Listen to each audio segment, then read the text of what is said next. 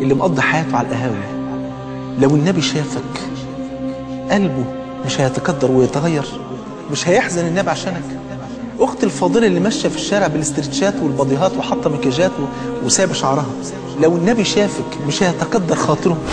أخويا وحبيبي اللي ليل ونهار قاعد على الشات وسايب الصلاة وما بيصليش ولا بيذكر ربنا ولا قراءه قرآن ولا جامعة ولا دراسة ولا تعليم وعقوق والدين النبي لو شافك مش هيتكدر خاطره.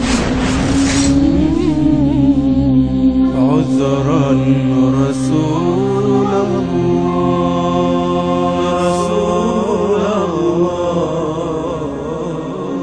عذرا حبيب الله. حبيب الله عذرا ما أطعناك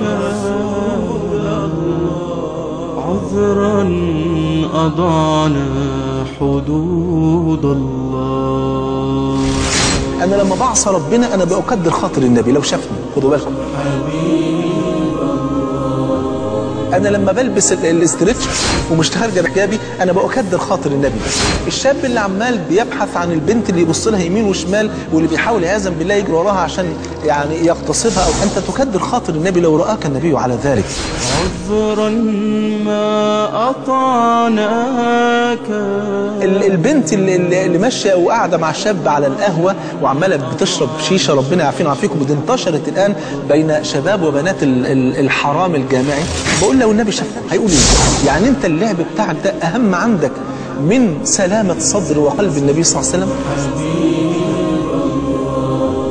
عذرا